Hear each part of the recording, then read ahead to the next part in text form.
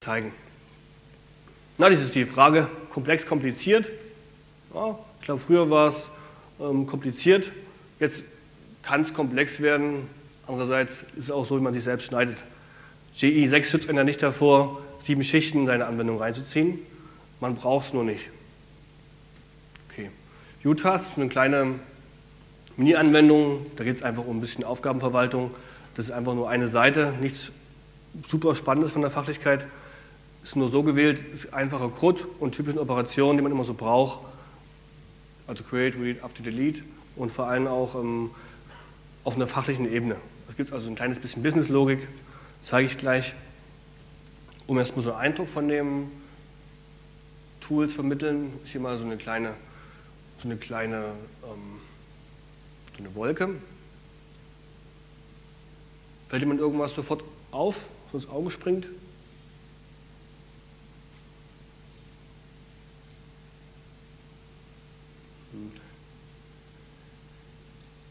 Ich finde zum Beispiel, wenn man ein bisschen hinguckt, ist erstmal erschlagend, aber nutze ich übrigens gern bei Reviews für Architektur, Sachen in anderen Projekten.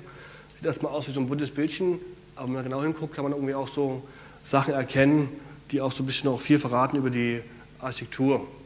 Ja, es geht also irgendwas, was Datenbank hat, Entity Manager, die Fachlichkeit. Es geht also irgendwo auch um, um Tasks, um Aufgaben. Ähm, okay, wir verwenden hier Override. Warum so oft? Anscheinend gibt es noch Vererbung. Ich denke, man braucht man nicht mehr, wenn es ähm, Java E6 gibt.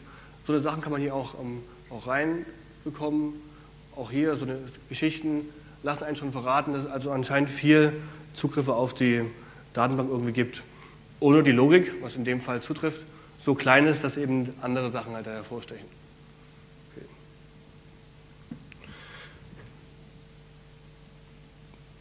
So ganz grob von der von den eingesetzten Technologien ist halt ein JBoss AS7 Container, der eben dann, den ich heute verwende. Also mein Eindruck ist, dass der, der 7.1.1, der jetzt seit, ich glaube, zwei Monaten raus ist, der macht also richtig Spaß. Selbst der 7 war zwar schön, da konnte man sagen, okay, wir sind jetzt endlich Full ähm, Profile ähm, Qualified. Es gibt zwei Profile, Web Profile und Full Qualified. Die unterscheiden sich bei der Sammlung an Specs, die in der API drin sind. Und jetzt können wir endlich sagen, okay, der 7 ist es. Aber erst mit dem 7.1.1 kann man sagen, okay, jetzt ist es wirklich benutzbar. Da kommen eben auch Dienste wie na, GMX, MDB so langsam mit rein, was eigentlich so ein G5 Standard war. Für die Demo heute beschränke ich mich darauf auf eine In-Memory-Datenbank, läuft im Speicher von dem JBus, reicht aus. Das ist eine H2 im Process. Also die könnte ich, wenn ich wollte, auch über die Manage-Konsole von dem JBus auch steuern. Ja, ist nichts für Dauer, aber ich zeige gleich, das kann man relativ leicht auch ändern für den echten Betrieb, auch mit verschiedenen Profilen. Ich zeige gleich, wie verwendet zum Beispiel in dem Dev-Profil die H2 und in dem echten System dann was anderes, Postgres. Technologie-Stack, erstmal die Standard-APIs aus dem JEE 6-Stack, also Context Dependency Injection, EGB3, JSF, JPA und ein bisschen Bean Validation. Soll ich zu irgendwas was sagen? Das ist erstmal so generell klar. Wenn auch Fragen auftauchen zu irgendeiner API, sage ich gerne was dazu. Ansonsten wiederhole ich es jetzt nicht. Dazu angereichert mit ein bisschen Erweiterung. Ähm, das lässt schon danach vermuten, ich ähm, weiß nicht, wer das Team kennt. Das hat sich ein bisschen jetzt auch, ein bisschen auch die, zum Teil zumindest die Vorlage auch für, den, für die CDI und dann auch die Java E6 Spec. Viele Sachen von Steam sind da reingelaufen von Steam 2. 7.3 ist eigentlich nur ein besseres ähm, Erweiterung der CDI-Module. Also CDI ist ja die, eigentlich so das, die Hauptspec von dem ganzen Thema, also wie man sauber Injection auflöst. Da gibt es dann diese runterliegende API, die auch von Spring getragen wird und Juice. Ähm, und gibt einfach nur so ein paar Annotations und die eigene Implementierung, zum Beispiel Welt von JBus, die Referenzimplementierung, bauen das dann entsprechend ein. Das zeige ich euch gleich. Gibt aber auch noch Sachen, die eben nicht Standard sind. Zum Beispiel, wenn wir dann gleich sehen, gibt es eine Ecke, da entscheide ich mich bewusst für EGB und nicht für eine CDI-Komponente, weil ich da Sachen wie Transaction Handling mit geschenkt bekomme. Liegt daran, wie die ähm, Beans halt designt sind. Um so ein bisschen Sachen auszugleichen, ähm, hänge ich noch ein Richfeld und ein 7.3 mit dran. 7.3 brauche ich, um so ein bisschen Verfeinern von Persistence-Zugriff habe also keine Lust, jedes Mal selbst mir erst die Endlich-Manager zu holen, eine API zu bauen. da gibt es halt ein Modul, was das für mich schon macht. Oder auch beim Logging einfach so eine Vereinfachung, so Hilfsmethoden. Ja, und Rich Faces JSF2 kann man mögen oder nicht. Ich bin so dazwischen persönlich. Ich sag mal, es ist nicht schlechter geworden von der alten Version, aber es haut mich auch nicht vom Hocker, immer noch nicht. Man kann aber vernünftig damit arbeiten und auch JSF-Anwendungen gut anbinden. Die Frage ist eher, ob man von diesem JSF-Modell ähm, überzeugt ist auf Dauer. Aber ich werde das gleich mal anreißen. Ich möchte Ihnen gleich mal so einen kleinen Überblick geben über den Code, also ein bisschen wie das Projekt aufgebaut ist, ein bisschen ähm, Maven, Hierarchie und Sachen zeigen. Dann mal so eine Designentscheidung, die oft immer kommt bei Testdaten. Wie spiele ich Testdaten im System? Ich habe mich hier für so ein Bootstrap-Bean entschieden, zeige ich gleich.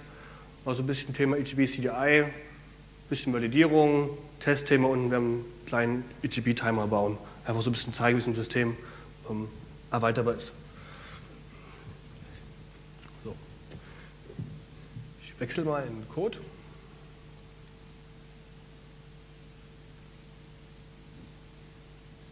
Mhm.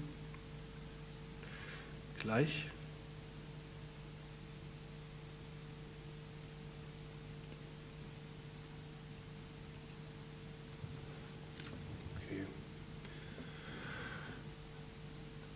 Mal ein kleiner, kleiner Test, wie, das, wie der Code zu lesen ist. Können Sie das gut lesen?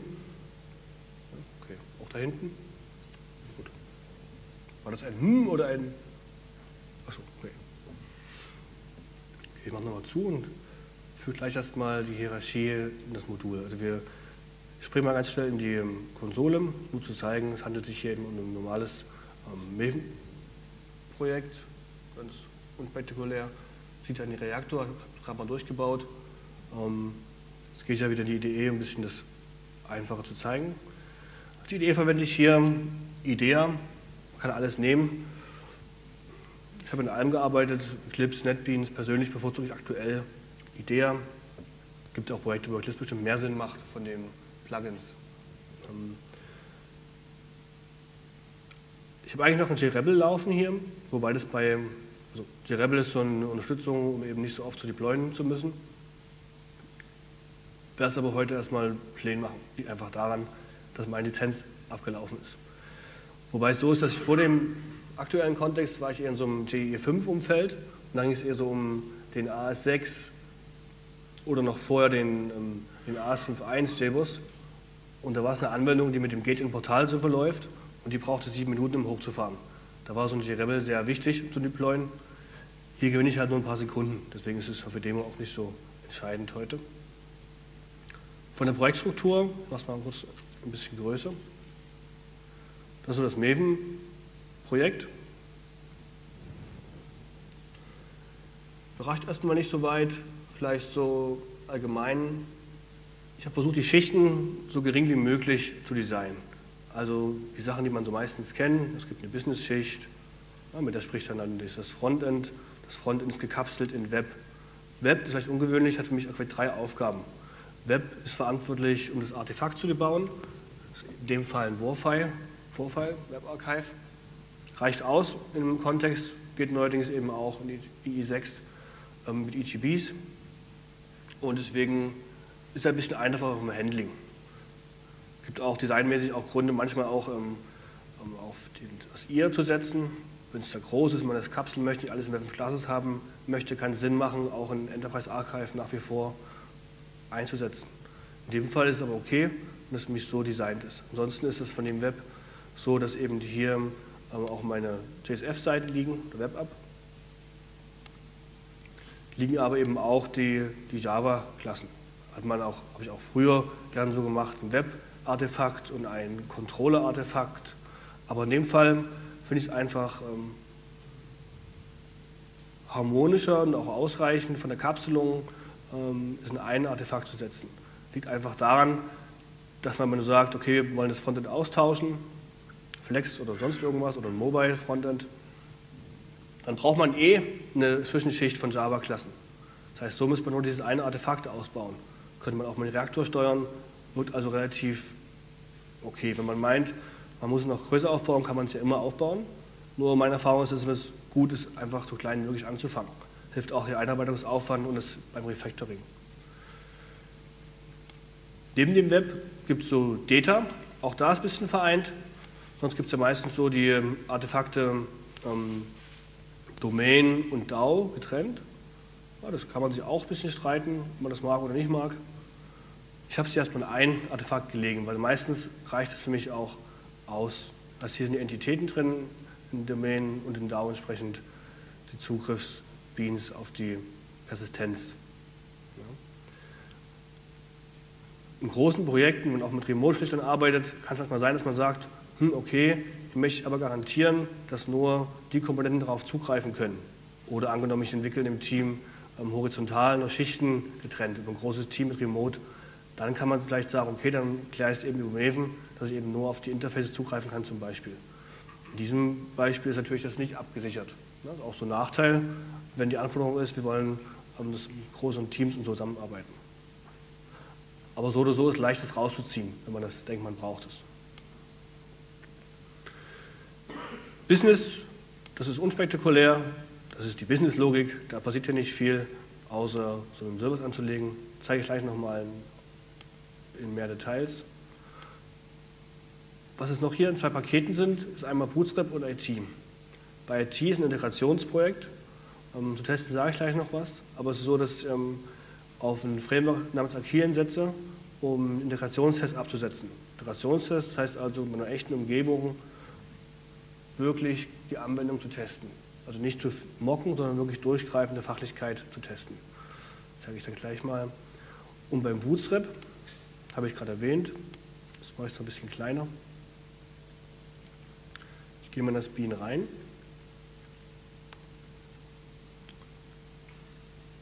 Es gibt mehrere Möglichkeiten, um so Testdaten im System zu bekommen. Man kann SQL reinpumpen oder man nutzt die Hibernate-Mechanismen, die es einfach so gibt, out of the box. In den letzten Jahren, ich habe alles schon verwendet im produktiven Code, in den letzten Jahren bin ich mehr über den Weg mit so einem eigenen Artefakt und über Java das zu machen. Dazu mehrere Gründe. Das Refactor, huch, wackel ich.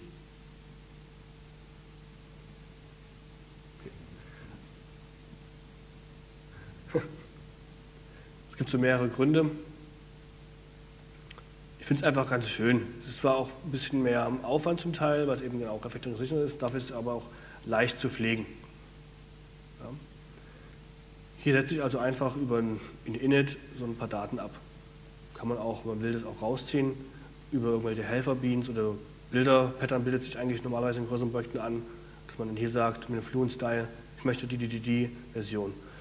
Von den Bienen her vielleicht ein bisschen was. Das ist ein, ein einfaches Singleton, das heißt, es gibt nur eine Instanz. Als Startup wird hochgezogen, wenn, der, wenn die Umgebung, in dem Fall größtmöglich Application Scope, startet. Und nach Erzeugen der Komponente wird Post-Construct aufgerufen, was eben entsprechend die Methode absetzt. Ja. Das soweit zu dem ähm, Bootstrap-Bienen. Das ist ein eigenes Artefakt, das heißt, das kann man profilmäßig in dem Reaktor auch abklemmen. Also produktiv ist, kann man sagen, okay, Bootstrap bitte nicht mit deployen. Testdaten halt abgeklemmt.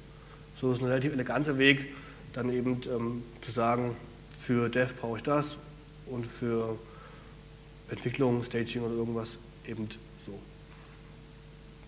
Ich habe auch schon gehabt, dass die Projekte sich unterscheiden, dann, also verschiedene Daten dann deployed. Kann man dann sehr elegant mit diesem Weg lösen. Ich möchte noch mal ein kleines bisschen zeigen, wie wir Maven hier einsetzen. Ich zeige bewusst auch so ein, so ein, paar Sachen, die man eigentlich sonst nicht so sich anguckt. Ähm, hier ist ein bisschen der Root-POM. Ich möchte hier mal das, ähm, das Dev-Profil zeigen. Das ist auch so ein Streitpunkt. Ich bin auch nicht immer überzeugt davon, aber ähm, hier in diesem kleinen Projekt finde ich es okay. So, dass ich sage, es gibt mehrere Maven-Profile und ich steuere also so ein paar Parameter, wie eben für die Datenbank, Dialekt, zeige ich ähm, SQL an Data Source, mache ich über Maven direkt. Ist ganz nett, wenn man das dann auch weiter treibt Richtung Jenkins, kann man das mit Profilmail leicht steuern. Also es ist sehr elegant dann vom Jenkins zu sagen, okay, ruf eben das auf, baue es ohne Bootstrap oder mit und nimm Profil sowieso. Dann kann ich das von außen leicht konfigurieren. Wenn man das nicht möchte, wenn man ein Artefakt sauber haben will, kann man es auch rausziehen. Aber für diese Größe vom Projekt, Use Case finde ich eigentlich angemessen. Dann noch was, was man manchmal man vergisst, äh, oder ich manchmal vergesse, wie ich ähm, Properties ähm, reinbekomme. Properties ja, kennt man von Maven, aber es gibt dann auch so ein Plugin.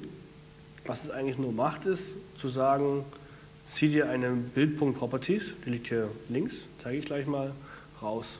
Das ist erstmal unspektakulär. Wichtiger ist es, dass es die in die, in die Submodule auch reingezogen wird. Weil bei Default kann man dann nur aus, dem Root, aus der Root-POM zugreifen. Das finde ich aber unelegant. Ich möchte also auch aus den POMs der unterliegenden Projekte zugreifen. Deswegen sage ich hier mit so einem ähm, Property Maven Plugin, bitte hier definiere die Build Properties und so weiter. Im praktischen Alltag ist dann quasi so ein Template eingecheckt.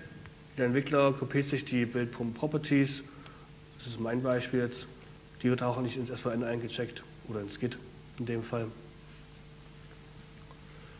Genau, das Projekt auf Git gehostet und ähm, auf GitHub liegt das, zeigt dann gleich noch einen Link. Wenn Sie Interesse haben, können Sie es auch runterladen, ausprobieren, Feedback geben, erweitern, was gefällt. So.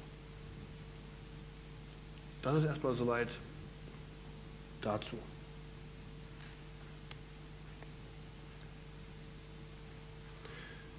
Ähm, ich möchte mal eine kleine Besonderheit zeigen in Utahs Bootstrap Bean. Spring nochmal hier rein. Also es ist so, das ist ja alles über CDIs. Vielleicht wundern Sie sich zum Teil, hier wenn ich mal eject und hier auf einmal sage ich wieder EGB. Ja. Das ist beides eigentlich legitim, ist eigentlich, normalerweise würde ich sagen, es ist unelegant, das zu mixen. Macht auch eigentlich keinen Sinn, weil alles ein Pocho ist und man in CDI das auch elegant reinbringen kann. Jetzt ist es aber so, dass es da wirklich noch einen Bug gibt in Welt der CDI-Implementierung.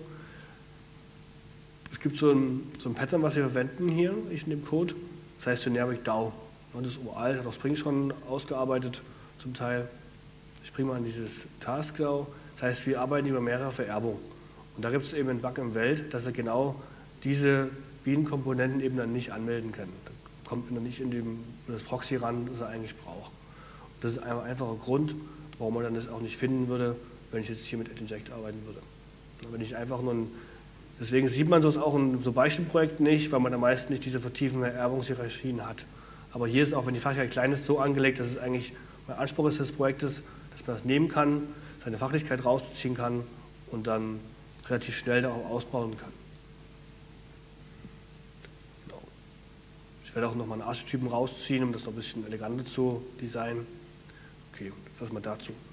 Ich möchte das Projekt mal, mal starten das hier in IDEA mit eingebunden, den JBus. Fahre mal hoch. Dauert ein paar Sekunden.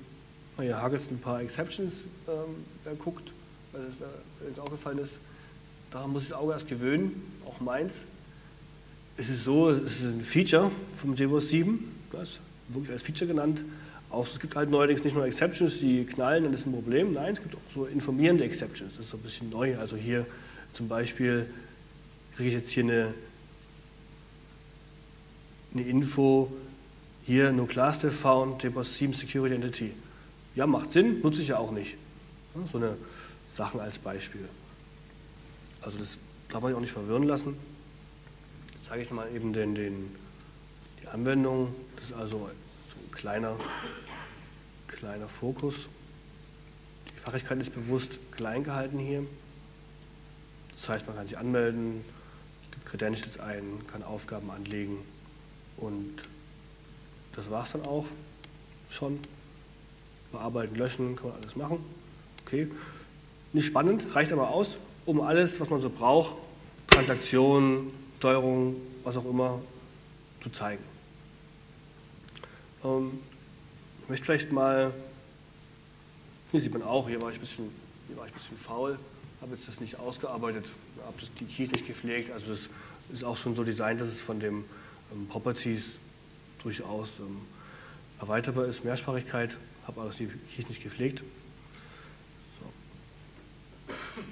Möchte ich mal die Hauptentität zeigen, das ist so Task. Und so eine Speck, die möchte ich mal kurz zeigen, ist so Bean Validation. Wenn ich also jetzt sage, ähm, ich möchte halt beim Anlegen vielleicht eine Constraint hinzufügen, zum Beispiel auf der Task eben darf eben, muss drei Zeichen lang sein, dann ist es aktuell eben nicht so. So, kann man anlegen. Das ist ein Kleinkram. Ich würde mal zeigen, wie das Handling so ist, wenn man so hier arbeitet. Ich sage also, okay, du String bist eben jetzt mit so einem Bean Validation, also Standardlänge. Du sagst, du sollst also Minimum fünf Zeichen sein. Jetzt kann ich mal redeployen und dauert es ein, zwei Sekunden. Ja, manche Rebel wird es eben jetzt noch schneller gehen. Ist aber jetzt auch so passabel. Und jetzt kann ich hier nochmal das gleiche nochmal machen. Und dann müsste er mir sagen, dass er jetzt eben das nicht mag. Ja, ich habe auch, auch hier nur in eine Ecke geschaut. Deswegen kriege ich so eine komische Zahl, weil eben die, die Grenze des Datenbereiches hier gibt. Kann ich natürlich auch noch ausbauen, reicht aber.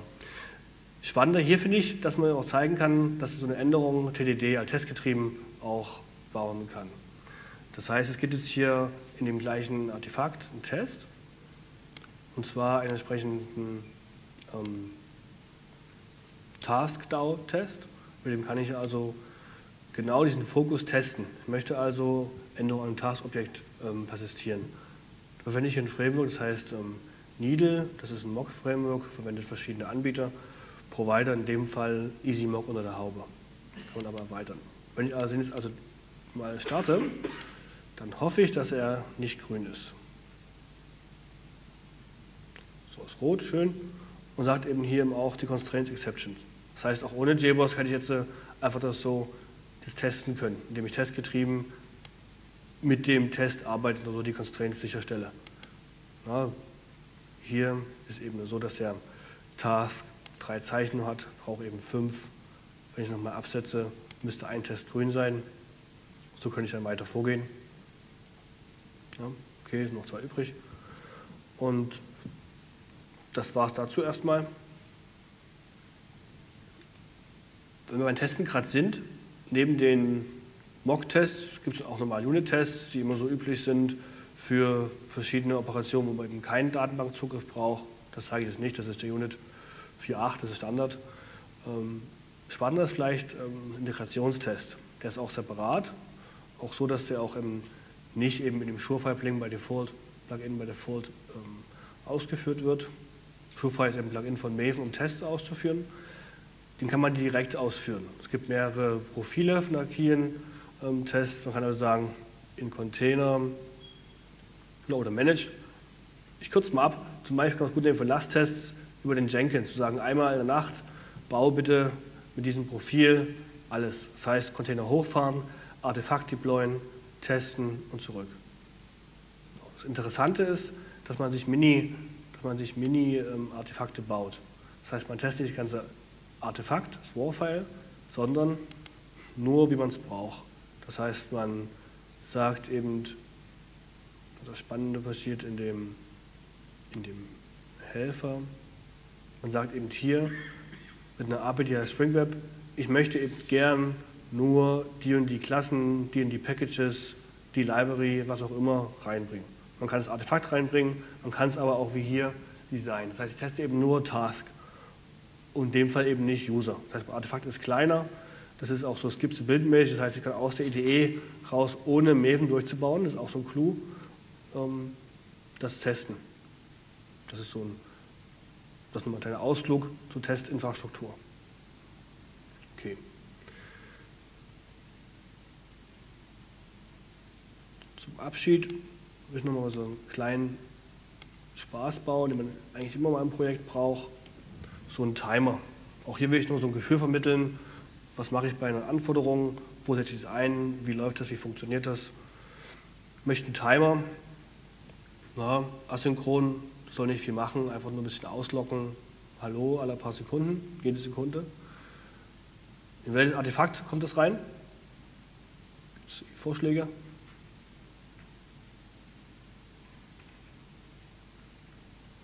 Ich würde es in Business schieben. Ja, das ist zentral. Wer mag, kann es auch noch ausschieben, aber fange erstmal hier an. und sagen, wir brauchen jetzt eine neue Klasse und es ist eben dann ein Task Timer.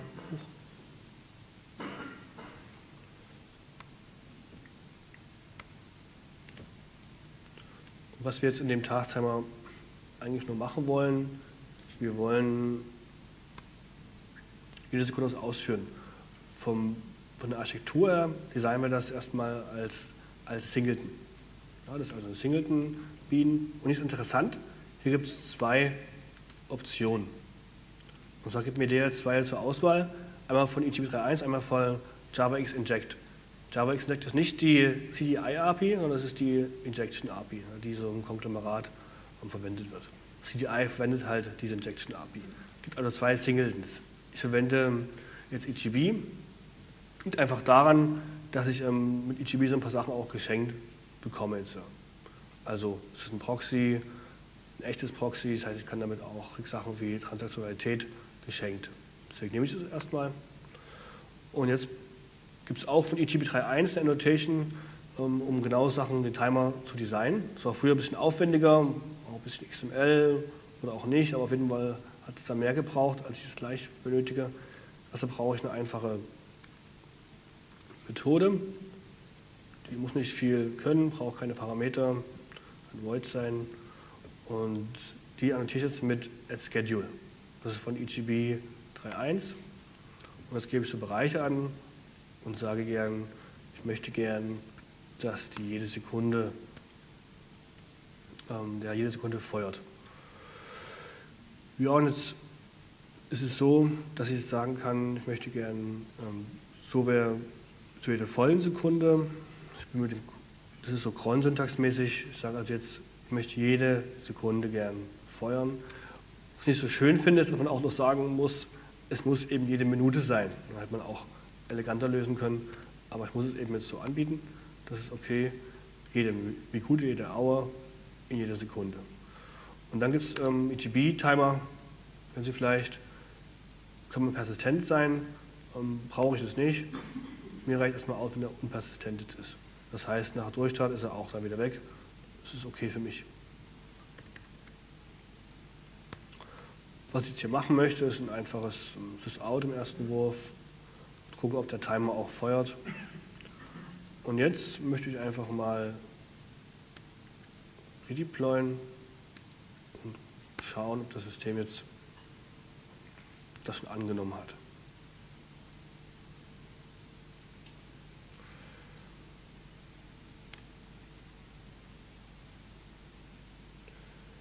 Rebus.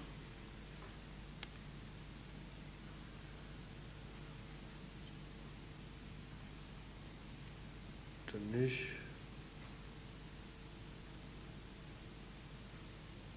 Warum?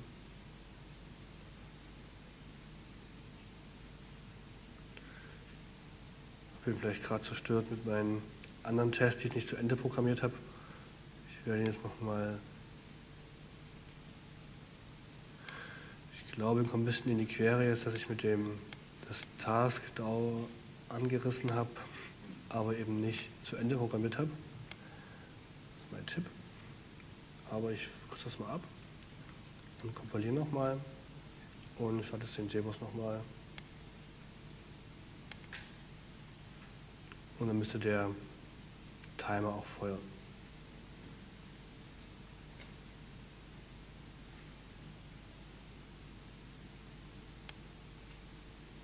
Hm. Tja, das hat leider nicht geklappt. Tja, wer den Fehler sieht, dass ich gerne melden.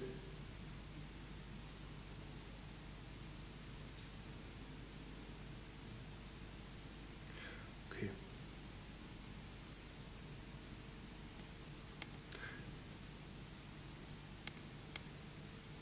Noch ein Test. Und wenn das nicht klappt, dann Müsste ich abbrechen. Also ich glaube, dass mein Artefakt jetzt hier gerade kaputt gegangen ist. Wir machen das mal noch ein bisschen Zeit, deswegen können wir das mal schnell nochmal überprüfen, was man auch so machen könnte über mehrere Wege. Ich will jetzt mal in die Management-Konsole gehen und gucken, was da los ist. Kann nicht so schlimm sein. mache das nochmal schnell und hm, hat es deployed, okay. Und probiere es nochmal, ob ich es bauen kann. Sonst breche ich es auch gleich ab in zwei Minuten, wenn es nicht klappt. Und dann würde ich es in den GitHub auch nachreichen. Ich gucke nochmal, ob ich irgendwas Doofes übersehen habe. Hier ist ein ETV Singleton Schedule. Nee, mehr ist es auch nicht.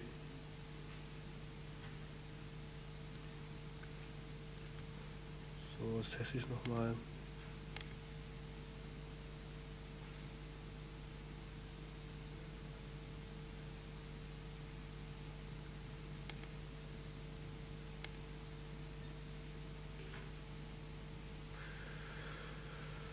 Ja. Dann breche ich jetzt hier ab. Tut ein bisschen leid. Ich müsste jetzt nochmal reingucken, würde jetzt im nächsten Schritt ähm, in den Container schauen, den runterfahren, Temps löschen, nochmal hochzufahren. Ich vermute, er hat das nicht verkraftet, dieses ewige An- und Ausstarten, auch mit dem agilen Test greife ich ja auf den Container zu und ändere dann auch Sachen. Ich glaube, der hat einfach jetzt dann verloren. Das heißt, wer Interesse hat, können wir gleich nochmal hier machen oder über GitHub. Ich bin überzeugt, wenn ich jetzt den, den, das Temp wegräume und wieder hochstarte, dass dann da ist. Das ist zumindest dann von der Syntax her, wie ich auf den Timer zugreife.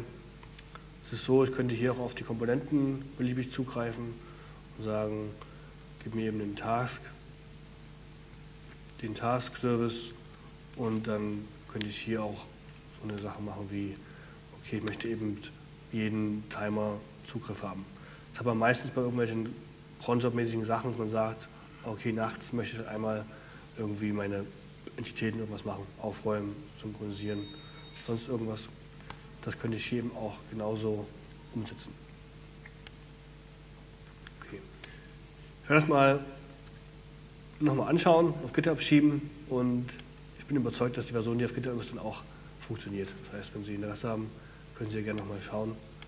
Ansonsten, wer es unbedingt heute sehen will, kann dann zu mir kommen und wir kriegen das auch gleich zum Laufen. Ähm auch mit JRebel ist keine Wunderwaffe, also ein Satz aus der Praxis. Auch da ist es so, dass ich immer irgendwie alle paar Deployment doch mal den Container durchstarten muss, wie es eben jetzt hier auch hier erwischt hat. Es ist eben schade, dass die Exceptions, ich nicht mehr darauf verlassen kann, dass es wirklich Exceptions sind, die mich irgendwie am Betrieb hindern. Deswegen ist es immer ein bisschen schwierig um, zu sehen. Mal ganz schnell gucken, was er sagt. Er sagt zumindest, dass er den Timer nicht starten kann. Das ist schon mal schön. Hätte aber gerne noch gewusst, warum. Okay. Damit soll es gewesen sein. Ich gehe nochmal in die Slides.